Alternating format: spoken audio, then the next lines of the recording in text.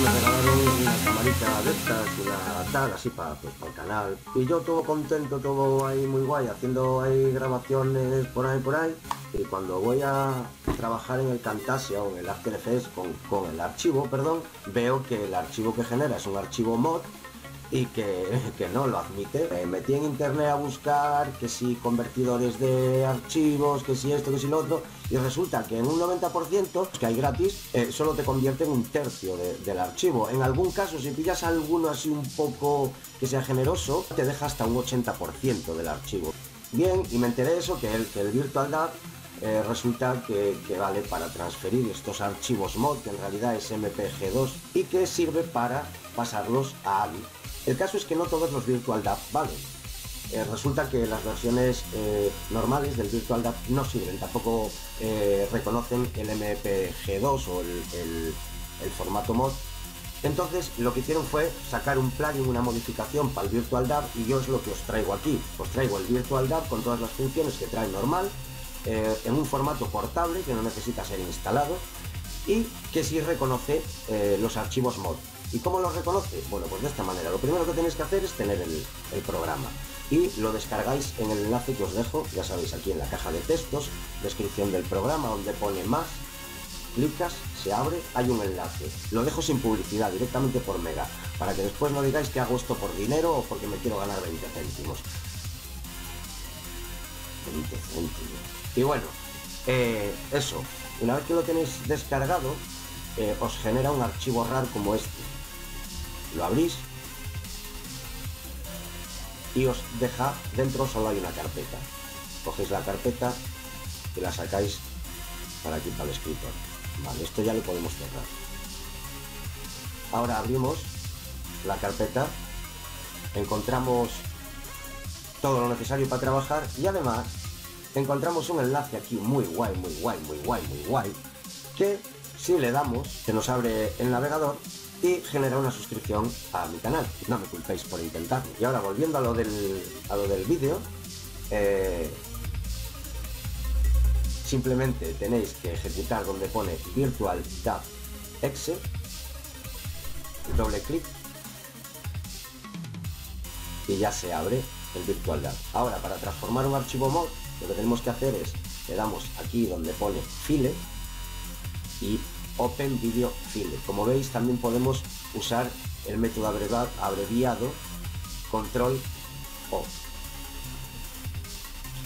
Y así por defecto no lo reconoce. No, tenemos que darle aquí donde pone tipo y elegir el altipes que tiene los dos asteriscos. Porque este altipes no es todos los tipos. Nos están vendiendo lo que no es. Entonces aquí. Y veis ya reconoce los archivos mod. Entonces voy a coger este y quiero que os deis cuenta de lo que pesa. Pesa 82,4 megas. Lo elegimos.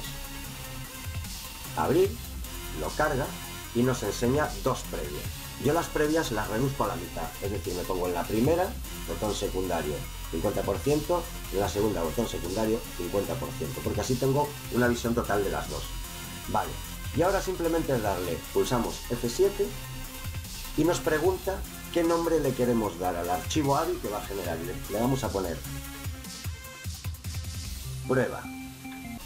¿Y dónde queremos guardarlo? Le voy a mandar en el escritorio. Le damos guardar. Veis que aquí ya nos va a decir el tipo de lo que pesa el proyecto. Acaba de entrar mi perro.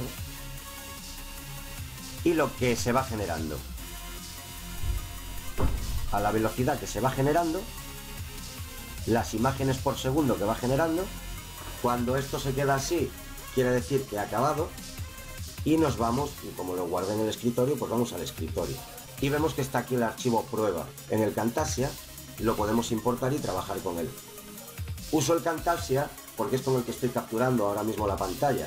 Tú intentas cargar en el Camtasia un archivo mod y o no te lo reconoce o si te lo llega a reconocer cuando lo está cargando te da error y no te lo carga.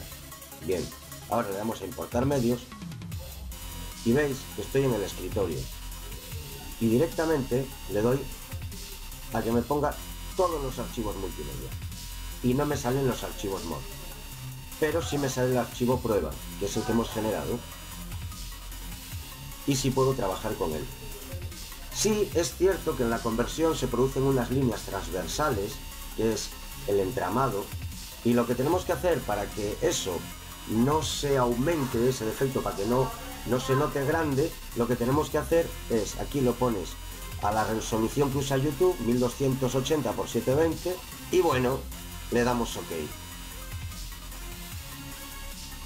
Nos quedará la imagen centrada así, y lo que tenemos que hacer es estirar simplemente los laterales. De esa manera, ese efecto que hace, ese defecto más bien, de líneas, no se nota tanto. Aquí, por ejemplo, mira, ahí que se ve mi pulgar o, bueno, una parte de mi dedo, espero que sea mi dedo. Pues, si yo ahora intento rellenar toda la imagen, fijaos bien, ¿veis? ¿Veis? Se va creando una ondita, una ondita, una ondita, una ondita, una ondita, una ondita. Si hago lo mismo para arriba, es onditas, onditas, onditas, onditas, onditas.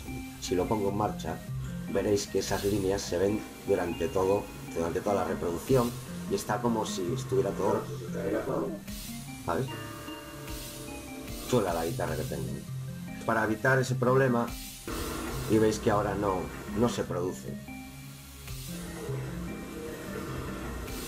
Bueno, y eso es todo. Un like, os suscribís, usáis eh, el enlace que tiene el archivo, que os lo agradeceré mucho y compartid el vídeo a quien le pueda interesar. Ya no es por ganar visitas, sino por, por que le ayude a quien pueda.